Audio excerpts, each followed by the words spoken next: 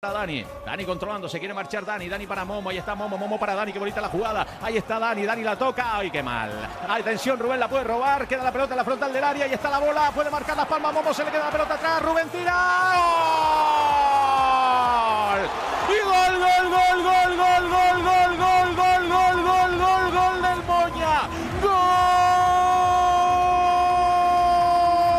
de Rubén Castro en una melé en el área la pelota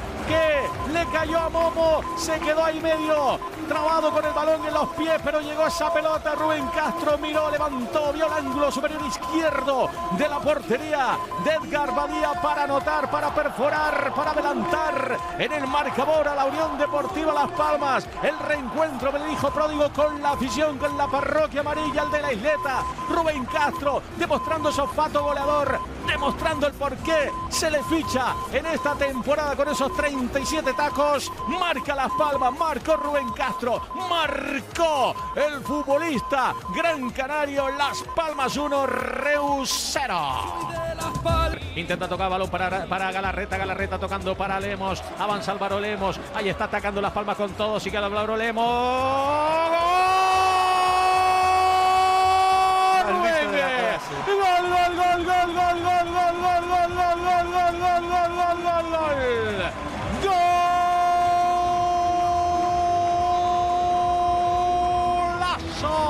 En una jugada robo de balón rápido balón por la derecha Álvaro Lemos buscó el centro no llegó Rafa Mí pero ya estaba con el gatillo como siempre preparado Rubén Castro el moño para marcar el segundo en el Gran Canaria ídolo de la afición amarilla. Estábamos sufriendo y llega ese masazo con el segundo de Rubén el bigoleador en la noche de este domingo en el Gran Canaria para abrir la competición, esta competición de plata, pero un hombre de oro, Rubén Castro marca el segundo, Las Palmas 2, Reus 0.